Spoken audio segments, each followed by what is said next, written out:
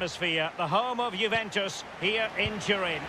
My name's Derek Ray, and joining me for commentary on this game is the former Arsenal and England fullback Lee Dixon. And tonight we've got the semi-final of the Champions League coming up for you. It is Juventus up against Napoli. Well, Derek, with the final so close, really important for both sets of players to stay in the now. Block the final out of the mind. Stay in the semi-final and do your job.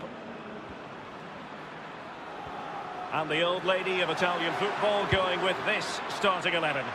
Wojciech Szczęsny between the posts.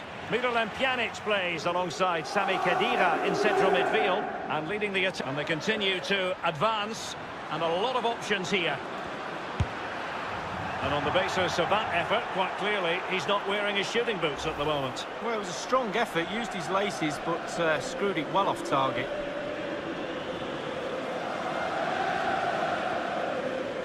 And the defender finding a solution to the problem. Costa with it. Well, he's given it away.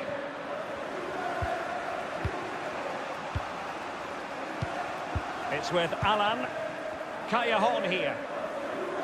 The emphasis is on passing the ball forward. Now, what can they do from here? Well, younger fans might think it would be incongruous for Juventus not to be in the Champions League. They had a few lean years, but they're very much part of the package league. The Champions League wouldn't be the same without Juve in the lineup, and they bring a certain amount of Italian suave to the competition. One of my favourite Italian teams, if not the. Delivered by Callejon. And it is the opening goal of the contest. Well, it was always going to be a tight game, but now all of a sudden one team ahead. Things have got to change on both sides.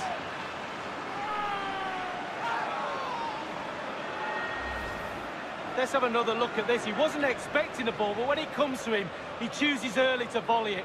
What a finish. A chance to revisit the goal.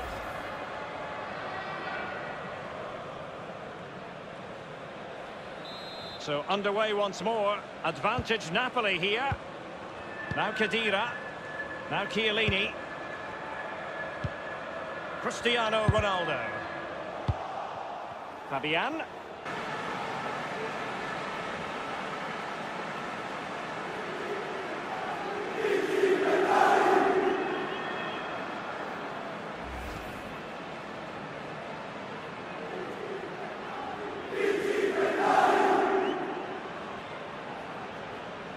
Well, 2-1 it is here.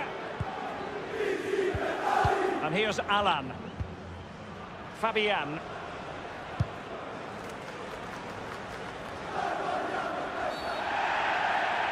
Illegal play, and hence a free kick.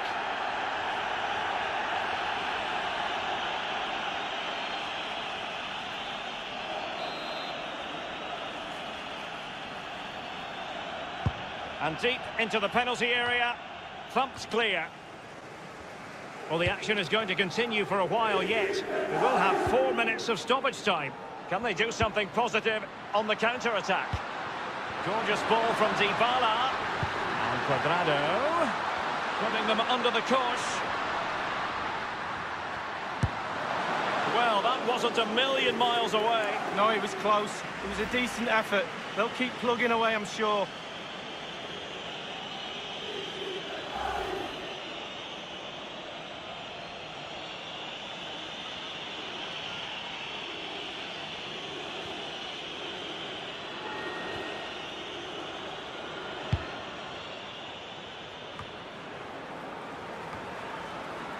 Cuadrado.